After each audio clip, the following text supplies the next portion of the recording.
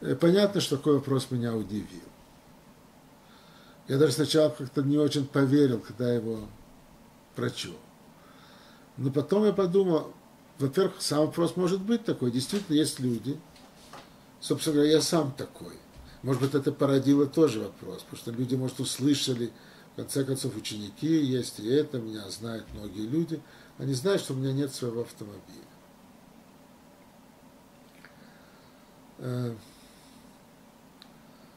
Поэтому спросили, наверное, меня, почему. Опять же, история простейшая. Алия в Израиль.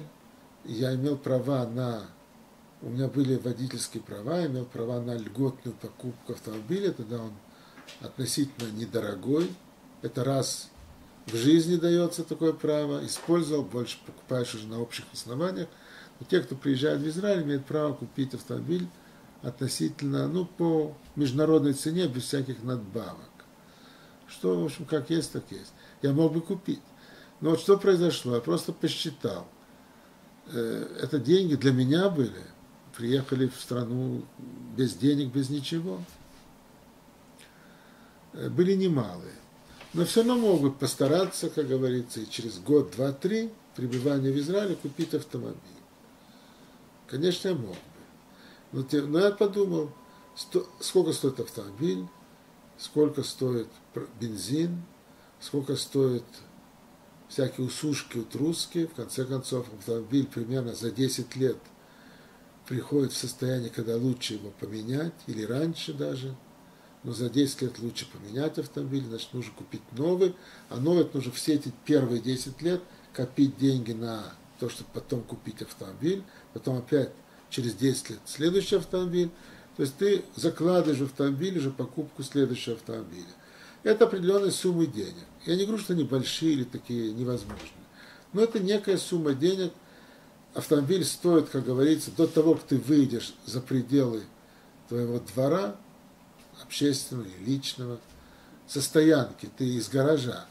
Ты еще не выехал, автомобиль стоит, допустим, я просто так говорю, 3000 шекелей в месяц. Без поездок, без ничего. Поездки – это бензин и прочее. Время, и что для меня важно, забота, думать, стоянка и прочее, прочее, ремонты – это отвлекает от изучения и преподавания Торы. Поэтому я подумал так, сколько можно продержаться, то даже если иногда ездить на такси, такси это дорого, это, конечно, дорого, но если это делать не все время, а ездить на такси, и все правильно посчитать, это будет не дороже, чем вот эти там 5 тысяч в месяц шекелей, которые стоит твой автомобиль. 4-5 тысяч. Эти вот 4 тысячи, 3 тысячи шекелей, если ты на такси потратишь, ты уложишься в эти же деньги. Зато не будет проблем со стоянкой, с ремонтом, ни с чем. Но есть и минусы, они тоже очевидны. Это есть удобство в личном автомобиле. Приехать, доехать. И особенно, если ты должен ездить часто в другой город. Э, что в Израиле случается со многими, тогда, конечно, э, никакие такси не помогут. Но тогда нам поможет общественный транспорт, автобусы. Э, что в Израиле более-менее с этим неплохо. Плюс сейчас уже еще лучше стало железные дороги. Хорошо. И тогда поездка в другой город займет час-два. Так я в Москве жил, у меня не было транспорта там своего, но метро и прочее. Я каждый день я ездил в метро час-два и сидел, и читал, и изучал Тору и прочее, и прочее, прямо в метро, что было само по себе тоже интересным явлением. В советские времена Брежнева и Андропова я сидел в метро и изучал Тору. Иногда были какие-то отклики,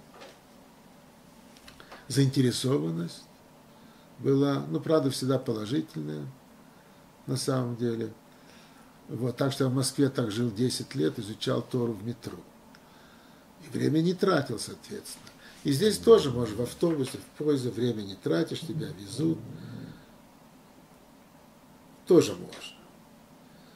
Эм, иногда меня товарищ подвозят, если на урок езжу.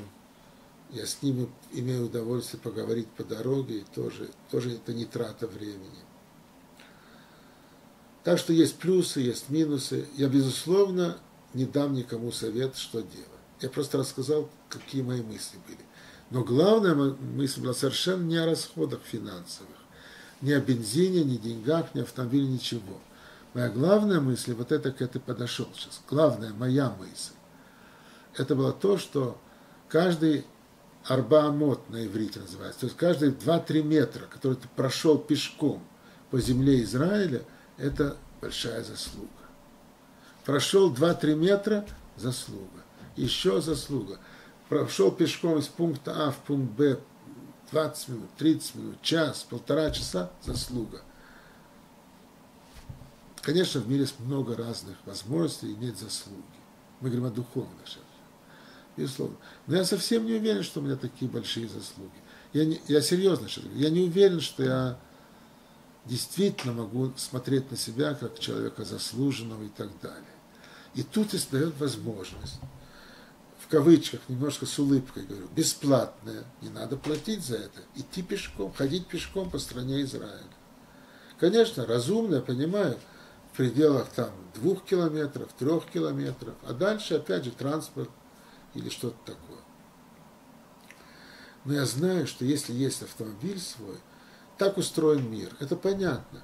Ты чаще всего будешь, даже короткая поездка у тебя будет, выходишь, сел в автомобиль, проехал, и все. Так живут люди.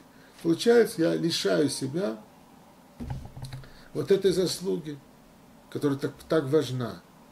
Может, у меня больше даже нет заслуг. Так хотя бы это будет. Вы, если кто-то скажет, что это смешно, то, что я рассказываю, я даже не буду спорить. Может быть, это действительно выглядит смешно. Но я вам рассказал, как есть. Это было мой ход мысли.